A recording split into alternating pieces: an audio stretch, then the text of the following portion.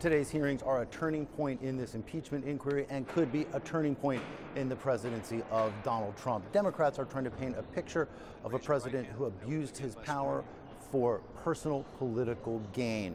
Here is Adam Schiff, the leading Democrat in this investigation. If he sought to condition, coerce, extort, or bribe an ally into conducting investigations to aid his reelection campaign and did so by withholding official acts, a White House meeting, or hundreds of millions of dollars of needed military aid, must we simply get over it? Lawmakers will have to decide whether it was improper of President Trump and his inner circle to push for investigations into Trump's political rivals while at the same time withholding almost $400 million in congressionally uh, directed aid to Ukraine. Uh, the committee today heard from two witnesses. The first is William Taylor. He's a career diplomat, currently the uh, acting ambassador to Ukraine. He expressed alarm that military aid was being withheld and concern over the back channel foreign policy team led by President Trump's personal attorney, Rudy Giuliani.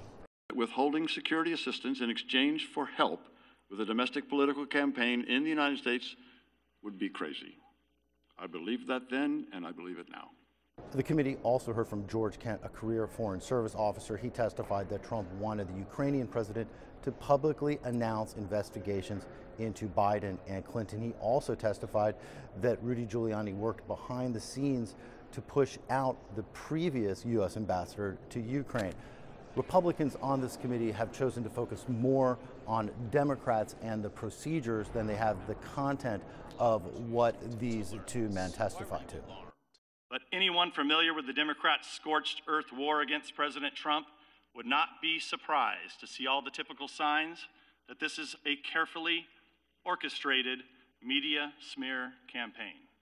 President Trump has repeatedly said there was no quid pro quo and that he has done nothing wrong. He has called this investigation a witch hunt. Jim Spellman, CGTN, Washington.